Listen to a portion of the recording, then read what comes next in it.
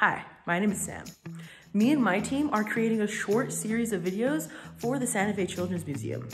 And when planning this video, we realized there's no better people to talk about how great this museum is for children than the parents of those children. This video is about outdoor play, and it really just shows people what the importance of still getting outside and playing is, especially now during COVID. So here's some examples of what we want you guys to do. So let's get started. Okay, so what I love most slash appreciate most about the museum is just all the like fun energy they have going on there. Everybody's just like super excited to learn and I think that makes it more fun and engaging for the kids. The first time we went to the museum was the first time I ever visited the Children's Museum and I love their outdoor area and the inside of their, their museum.